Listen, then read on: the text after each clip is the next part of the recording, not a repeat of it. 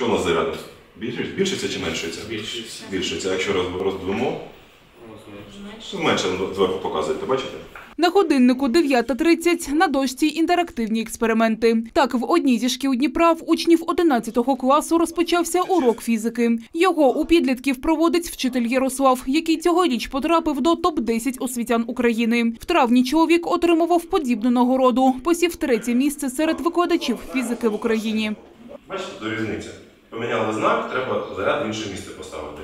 Це задача на 12 балів для вашої самостійної роботи. До речі. Ярослав ділиться, дитина не зацікавиться навчанням, якщо їй не сподобається вчитель або сам предмет. Тож каже, намагається проводити уроки нестандартно, пояснює задачі на прикладі соціальних проблем або дозволяє дітям розв'язувати рівняння за допомогою штучного інтелекту.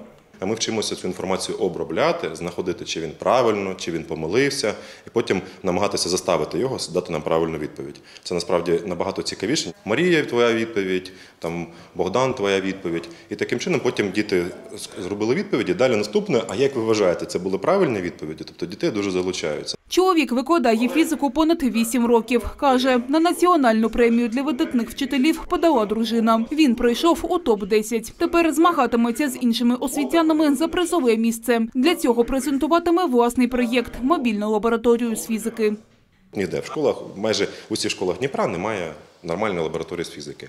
А от мобільна лабораторія дозволить, ну, розбивається на маленькі блоки і можна пересилати поштою по місту і по області. З одної сторони радіє, з іншої сторони додалося на початок року дуже багато додаткових вправ. У мене одною рукою пишу урок, іншою рукою пишу там якусь статтю. На уроках діти на прикладі оплати комунальних платежів вираховують, чому в Україні був дефіцит електроенергії. Одна зі школярок Катерина каже, такі заняття їй подобаються, а здобутками вчителя пишається. Ну, і коли я його про- побачила, сказала, молодець, я пишаюся.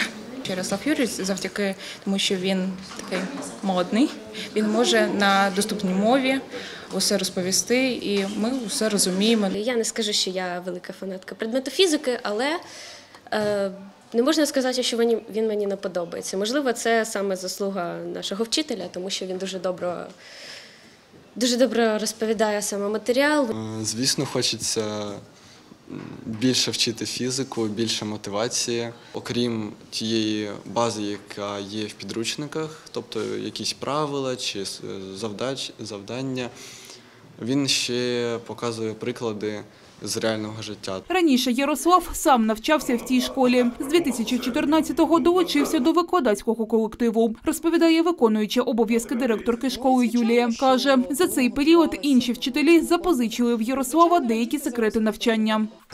Він амбітний, е, він, е, знаєте, от за принципом бачу мету і цілеспрямовано йду до неї. Він не зупиняється на досягнутому. Предмет, який він викладає, фізика це той предмет, який е, ну, сьогодні має перейти на новий рівень викладання для того, щоб він був цікавий дітям. Надалі у Ярослава змагання серед 10 кращих вчителів України. Якщо фізик переможе, на його проєкт мобільної лабораторії виділять мільйон гривень. Олеся Приходько, Дмитро Солодовник, Суспільне новини, Дніпро.